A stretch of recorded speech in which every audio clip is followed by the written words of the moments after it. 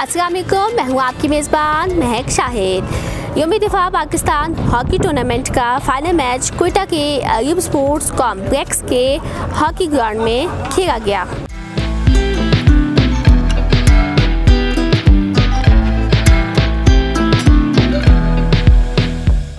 शहदाय hockey Balochistan को खराज अकीदत पेश करने और खिलाड़ियों को मौाक़े देने के लिए मुनद हुआ hockey tournament. Commissioner Quetta Hamza Shafqat final match के मेहमान खसूसी, जिन्होंने सराहा बलूचिस्तान हॉकी एसोसिएशन की काविशों को। इसमें शुदा की फैमिलीज़ भी इन्वॉल्व थी। एक बड़ी पॉजिटिव एक्टिविटी है, बड़े नए इमर्जिंग खिलाड़ी हमारे पास सामने आए हैं। बलूचिस्तान में स्पोर्ट्स के फ़रोग के लिए चीफ मिनिस्टर साहब की खसूसी हदायत हैं।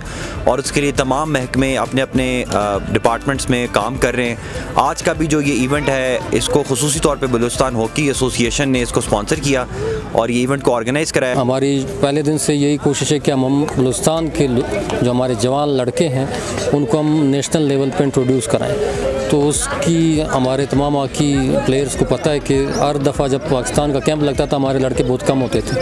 लेकिन जब से हमारी एसोसिएशन आई है और सीएम साहब ने स्पेशल हमें डायरेक्शन दी है कि पाकिस्तान लेवल पे इनको इंट्रोड्यूस कराओ। तो अभी हर कैंप में हमारे छः से आठ लड़के होते हैं जो ट्रेनिंग करते हैं सीनियर लेवल पे, जितने कैंप्स लगे अभी हम बलुस्तान की नुमाइंदगी कर रहे हैं। शहीद अब्दुल रहीम टीम ने पेनल्टी स्टॉक पर शहीद मीर अली को टीम को फाइनल में शिकस्त दी।